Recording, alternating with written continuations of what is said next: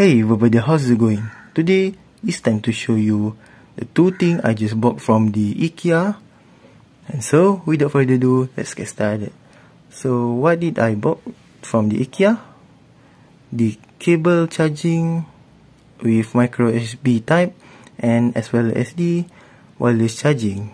So, let's check out. So, here's the box. Black color let's open it. Sorry.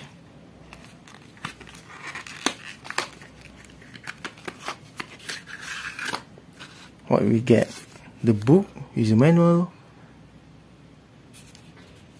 Yeah. This is the wireless charging. You need to buy a different cable which is the type C one. Alright.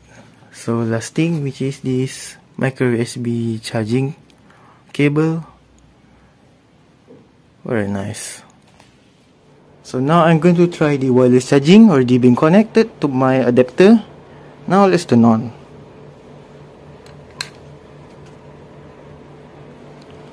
So here's the wireless charging. As you can see that uh, white dot means already been turned on. So here's my Galaxy Note 8 with support wireless charging just put it like this um, need to adjust a little bit.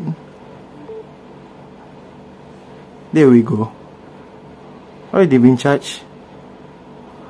Very simple.